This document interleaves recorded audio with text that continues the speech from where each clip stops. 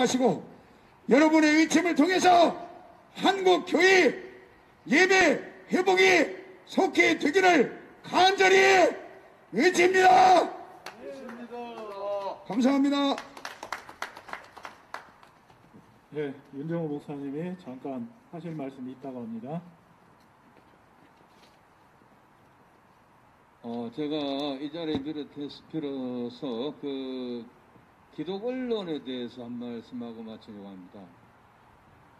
KBS, MBC 뭐 이와 같은 국가 방송들은 당연히 뭐 이 정권을 홍보하고 그 편에서 하겠지만 이 수많은 기독 언론들, 방송이나 신문사 많은데요.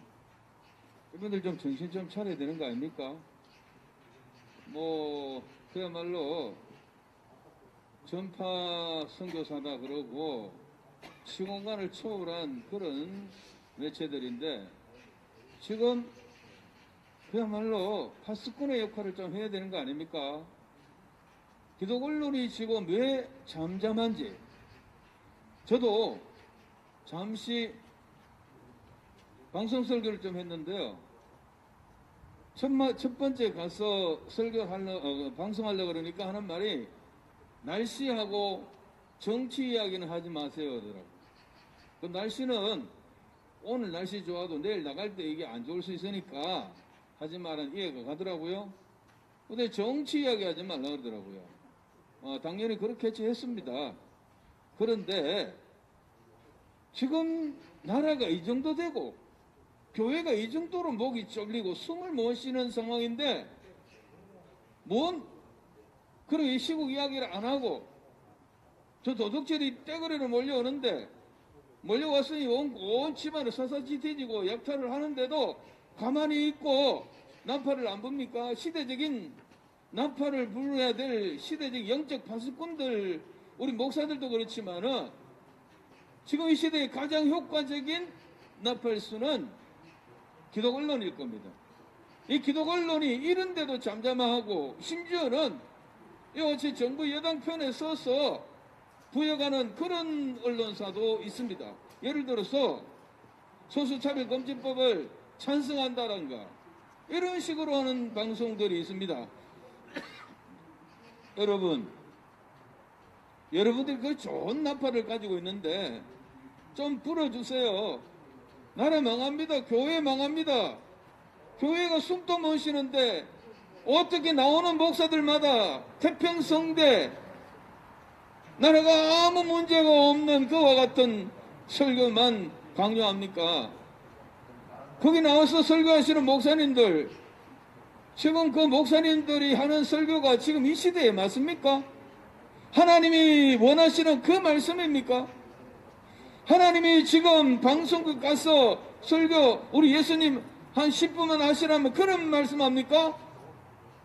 부귀영화 명예 권세 지금 여전히 이게 고통입니까? 하나님의 심판입니까? 하나님의 징계입니까? 고난입니까? 고난 같은 게 아니에요 지금 하나님의 징계 속에 있는데 고난이 유익이다라고 하고 계속해서 평안 이야기하고 축복 이야기하고 가만 들어보면 우리나라가 지금 아주 태평성되고 나라님이 아주 선정을 해서 온 백성들이 평화롭게 한가롭게 이렇게 살아가는 것처럼 착각하게 만듭니다. 여러분들이 제대로 나팔수가 되지 않으면 한국교회 교인들은 전부 맹일이 되고 기머리거리가 되고 이렇게 해서 회개할 줄 모릅니다. 유다가 망한 것은 거짓 선지자들이 맨날 평안하다 평안하다 노래 불렀고 예루살렘이야 예루살렘이 하면서 여기 하나님의 집이 있으니 우리는 안 망한다고 했습니다. 그러나 하나님은 말합니다. 평안하다 평안하다 할지나 평안이 없는 도다라고 했습니다.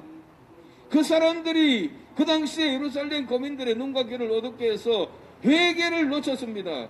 오늘도 마찬가지입니다.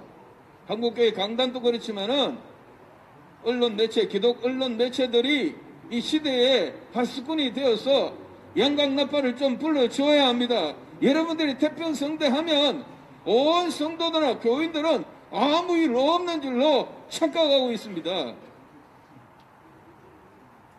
이걸 우리가 하지 않으면 함께 망하고요. 기독교 언론사 공산당 되고 공산주의 되면 할 수 있는 줄 압니까?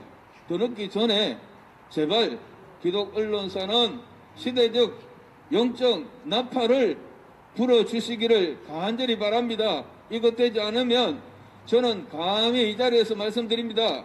전국 교회에 떠있는 사람들은 이와 같은 벙어리 이와 같이 성도들 눈과 귀를 멀게 하는 이들의 방송 언론사들은 우리가 시청을 거부하고 거기 가서 설교도 하지 마시고 거기에 헌금도 하지 마시고 신문도 보지 마시고 그렇게 해서 우리가 이 거절, 이 거부 운동을 전개해 나가야 합니다. 그렇지 않으면 여러분들의 책임이 더 큽니다. 이상입니다.